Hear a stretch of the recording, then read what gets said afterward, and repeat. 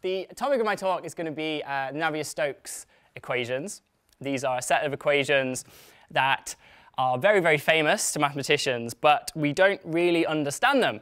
So much so that there's a million dollar prize if you are able to help us understand them more. So my idea in this talk is to strip back these equations layer by layer, uh, pun very much intended, as you'll see, um, and explain uh, what the equations are about, where they come from, how we build them, and maybe even how you might get your hands on those million dollars. So that's the rough outline, and I'll try and whisk through that in 10 minutes. Uh, so the first thing then, the first layer, what do the equations actually model? Um, so Navier-Stokes equations describe the behavior of every fluid on Earth. It is quite a claim. And when I say fluid here, we define a fluid to be something that changes shape to fit the container that it is in. So air, or any other gas, would be modeled as a fluid and would satisfy the Navier-Stokes equations. So any liquid and gas will definitely satisfy these equations and some other weird and wonderful things as well. Um, so I've got some examples. Um, this one is from my PhD. Uh, so here we've got uh, the Connecticut River flowing off the coast of the US, off the east coast. And as you can see, the river is filled with sand and silt, and as it flows into the water, it is very clearly being turned to the right and then flowing along the coast. And this behavior is explained by, by the Navier-Stokes equations. And I was studying this phenomena for my PhD. Uh, so I did some experiments in a lab. So here's my river coming into my rotating ocean and as you'll see, it will now turn to the side and then flow along the coast. And this is a real experiment. This is not a simulation. This is actual, you know, get my hands dirty doing experiments. So rivers, oceans, pollution, all that stuff, natural phenomena, it's all going to be to do with Navier-Stokes equations. Uh, here is a heart beating and pumping blood around the body. It is, in fact, my heart um, which is quite scary having an ultrasound scan of your own heart and seeing your heart beating on a screen, like where you're right next to it, next to the screen. Uh, so I volunteered to be a guinea pig to, to, have this done and talk about the experience for a radio show. Uh, but I thought it's a really nice example here of a, uh, a biological situation where you have a fluid flowing around the body, blood, and for example, if you want to make better drugs, you understand more about the fluid flow so that you can design drugs that reach where they need to be in the body faster, more efficient, etc. So again, sort of like medical applications to the Navier-Stokes equations and fluid mechanics. And a third and final example, um, this shows you how aerodynamic a T-Rex is. Um, so here you've got a T-Rex, you've got wind blowing in the face of the T-Rex, and this is showing you the uh, velocity field behind the T-Rex. Uh, obviously, the, the T-Rex is quite a silly example. It's just there for fun. But if you replace the T-Rex with, let's say, a uh, fighter jet or a car or Formula One race car, aerodynamics, it's all to do with fluid mechanics and solving the Navier-Stokes equations. Uh, and as I said, if you're not convinced that these are great yet, you do get a million dollars if you're able to improve our understanding of these equations. That is the wording of the problem. It's very vague, as to what you have to do, and I'll talk about at the end what I think you have to do. But just a word of warning, if you manage to win the million dollars, do not do uh, as Peter does in this little clip. The, um, the best bit about that clip, as well as being quite funny, so I'm glad you laughed, is that if you were to model the individual coins, you would model it like a fluid, and it would behave like a fluid. So uh, it's appropriate in many ways. Um, right, so layer two then. Um, what is actually in these equations. Like, what do we expect to be in the equations, thinking about all of these situations to do with fluids that we're trying to understand and we're trying to model. So we've got various experiments, uh, videos to show you. So this is a uh, bottle of water, has a hole in the bottom, and what's going to happen when I press play is the water shoots out the hole, but you'll see that the layer, the level of the water is dropping because the water is leaving. So what is changing here is the water pressure. So the fluid, the water is leaving the bottle because of the pressure, but as the pressure changes, the behavior of the fluid changes. So if we're going to write down a set of equations to describe how fluids behave, there's going to be pressure in those equations, because clearly it has an effect on the, on the behavior of a fluid.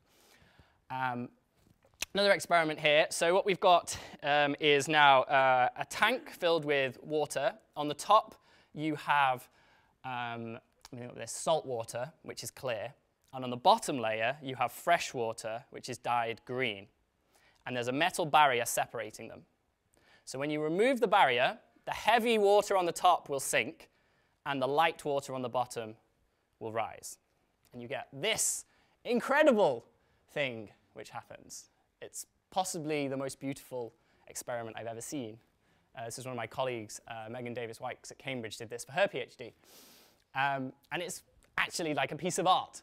Um, but what's going on here is the density difference in those two layers of fluid is causing this movement. Because if you do the exact same experiment where you have fresh water on top, fresh water on the bottom, and you pull out the barrier, absolutely nothing happens. So the difference in the density is creating motion, create, causing the fluid to behave in a certain way. So we expect density to be an important part of the Navier-Stokes equations. And then final experiment. So what we have here is a uh, circular beaker, which is filled with a very thick, sticky sugar syrup. And we've got three drops of food coloring, yellow, red, blue. And what we're going to do is stir this around. Um, I'm going to say, let's call it anti-clockwise first, and then after say do like five rotations, stop, and then go backwards. Okay, so now, before I play the video, think what would happen if this was water with three drops of colour in, and then you stirred it around and stirred it back. But what we've done in this video and in this experiment is instead of using water, we've changed and used this thick, sticky sugar fluid, which has a much higher viscosity. So we've changed a particular property of the fluid, which is viscosity, and we get these results. So as you can see, we get a very, very different behavior by changing the viscosity of the fluid. That would not happen with water. All right, stripping back to our third layer, as you may have realized. Um, where do these equations come from? So we know the things they model. We know a bit about the variables and the forces and things that should be in the equations. So let's try and construct them mathematically and see what they look like. So we start with conservation of mass. It's a very, I'm going to say, universal law of physics. If you have a blob of fluid here and then it moves with some velocity, and it's maybe changed shape a bit, but I have not added anything, and I have not taken away anything. I have the same amount of fluid, the same mass of fluid. The mass of the fluid hasn't changed. Nothing's added, nothing's been taken away. It's moved around a bit and it's deformed, but its mass is unchanged. So if you accept that as sensible, which hopefully seems to be pretty sensible, um, then you mathematically say this is a formula here for your mass. We want the mass to not change. The rate of change of mass with time is zero, and you get this fancy formula. Doesn't actually matter what that formula is. I'm not going to try and explain it properly. It just tells you that the mass of a fluid is conserved. Simple, hopefully, as I say, universal law of physics. And then the second Navier-Stokes equation is going to come from momentum. So when I say the word momentum, if you've studied physics at high school level, you're probably thinking of a particular scientist, goes by the name of Isaac Newton. Momentum. Rate of change of momentum is equal to force, also known as F equals ma, or mass times acceleration, is the sum of your forces. Newton's second law. It's again a very universal law that just kind of works in almost every situation. Um, now, if we figure out what's going on here, mass is just going to be density times an acceleration. So that's the left-hand side of Newton's equation. And then for the forces, we go back to everything we looked at in the second layer with our experiments. We had pressure, there's your pressure term, and then we had viscosity, the thickness of the fluid, which is that term. And then there are other things like gravity or rotation or electromagnetism and we kind of cheat here and just call them external forces and stick it on the end. But the second Navier-Stokes equation, which looks even worse than the first, this is scary. As a mathematician, to me, this is scary. This is the hard one. but it's actually just Newton's second law. Force is mass times acceleration for a fluid. Um, and here is a full derivation done in 30 seconds to the music of Benny Hill.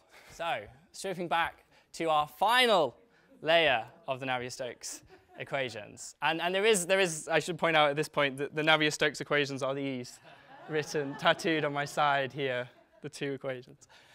Um, so stripping back to the fourth layer then, I promised I would talk to you about how I think you can win the million dollars. So hopefully now you've got at least a little bit of a feel for what these equations are, where they come from.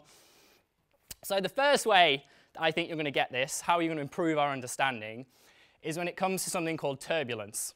So turbulence is just incredibly random motion. Something that's so random, you can't even begin to predict or understand what's happening with it. And that's like a problem because fluids, imagine two waves crashing into each other. As those water particles interact, you have literally no idea what's going on there. It's just completely random, like mess of interactions. So this is another experiment demonstrating this. So I've got here two blobs of fluid. We've got red and green. This is just a tank filled with water. It's all rotating. And then I've gone like this on the surface of the water to create this random motion. And now I'm going to press play, but in your head, sort of picture where you think this dye is going to go. All right, and then watch what happens. So whatever you were picturing, it probably isn't this. And I did this experiment, I think, about 100 times, and every time I got a completely different pattern, despite putting in the same amount of dye and everything else, keeping everything that's almost as similar as I could, and you just get this incredible, incredible randomness. It's chaos, is what we call it, something you can't model. And so we don't understand turbulence. If you come up with a model to explain all of this, you'll get the million dollars. Um, and then the second one, probably not much easier, is um, something called a singularity um, in maths. So a singularity is when you divide by zero. Uh, the physics equivalent would be a black hole. Um, so, you know, we don't really understand black holes that well, so you can probably guess we don't really understand singularities mathematically very well. And I've got a little uh, final experimental video showing you uh, an example of a singularity. So here you've got two bits of circular wire, and they've been dipped in, a soap, in soap. So they're forming this soap bubble between the two circles. And as you slowly move them apart, you're going to see the soap bubble change slowly, and then suddenly it's going to burst. Okay, so the two rings should be slowly moving apart. So the volume of that bubble starts to slowly change, slowly change, slowly change, and it pops. And that corresponds to an infinite change. You're going from a very, very slow movement to zero. So it's changing infinitely fast. And that is an example of a kind of a singularity which in the equations just doesn't work. But as we can clearly see, it does happen with fluids. So again, if you're able to understand singularities, you probably get a million dollars as well. Um, and finally, the fifth and final layer is if anyone can present me the solution, I will stand here completely naked. uh, I've done this a few times, even to like university level um, uh, students and, and, postdocs and whatnot, and no one's been brave enough to try and present the solution, so hopefully I'm safe. Um, so uh, yes, that is the end of my talk. Um, I think we can do questions, but thank you very much.